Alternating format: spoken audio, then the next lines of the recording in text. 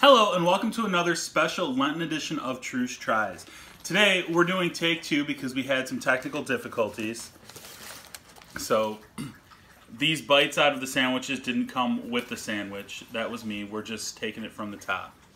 So we have some sandwiches from Jersey Mike's and I'm going to try the tuna sub and we have like a little baby bread here and we're going to see how I feel about it.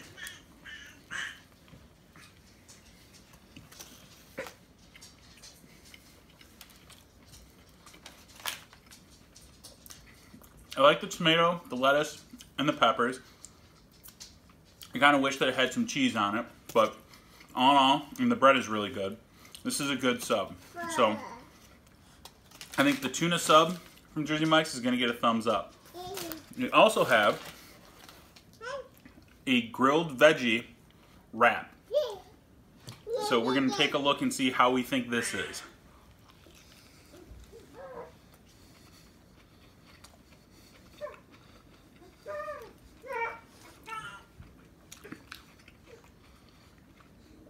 This is pretty good. Um, I like the grilled veggies.